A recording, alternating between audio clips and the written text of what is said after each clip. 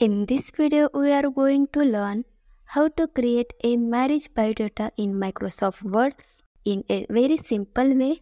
Without wasting much time, let's start the video.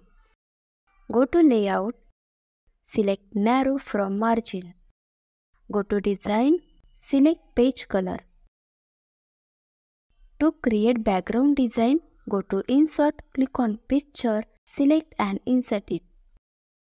Right click and go to Format Picture. Go to Picture Correction, increase brightness to 100%. Go to Wrap Text, select in front of text. Duplicate using Ctrl Shift.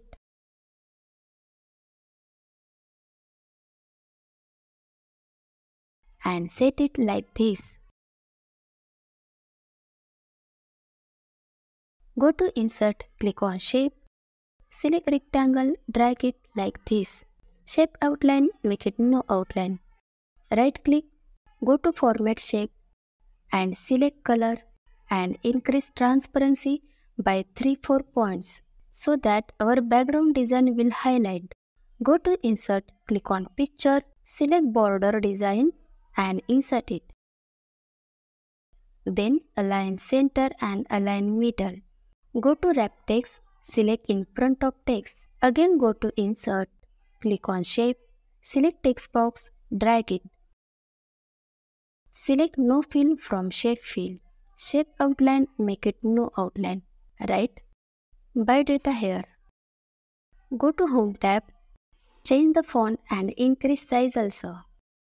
Also select color and center your content. Go to Format, then Align center. Press Ctrl Shift to duplicate. Select and go to Home tab. Reduce font size and align left.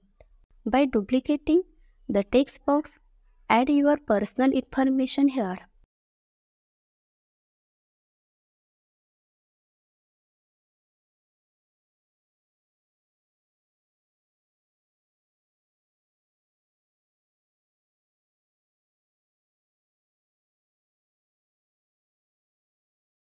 Go to Format, go to Selection pane, select all text box. Then select Distribute vertically and align left. Go back to Insert, click on Shape, select rounded rectangle, drag it like this. Go to Shape Fill, click on Picture, go to Files, Select your image and insert it. Go to Shape Outline, select white color. Now, you have learned how to create a simple and effective marriage biodata in MS Word. If you like the video, please like it and subscribe to our channel. Thanks for watching the video and see you in the next video. Thank you.